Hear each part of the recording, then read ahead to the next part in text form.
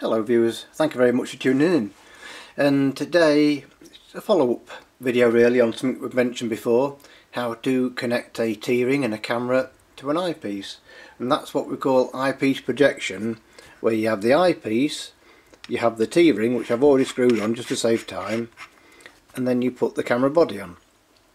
But what you'll find especially with full frame cameras at low magnification you get vignetting or darkening around the edges and you have to zoom in a little bit to get rid of that.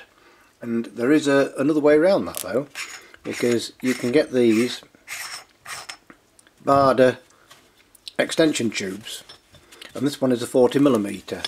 And what you do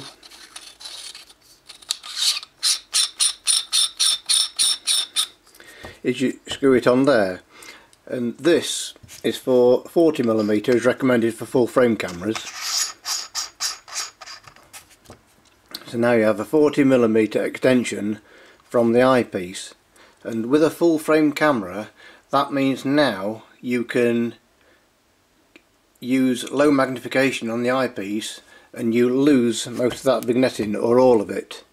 And for APS-C cameras you would get the 30mm extension and so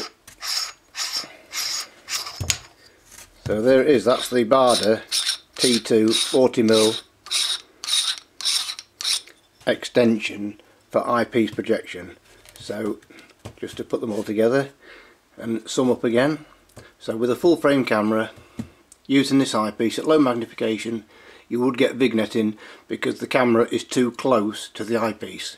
The 40mm extension tube counters that, brings the camera out further, the T-ring connects onto there and your DSLR body for full frame connects to the T-ring.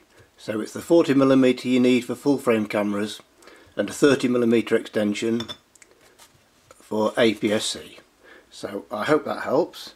Thank you very much for watching and please check out the links in the description below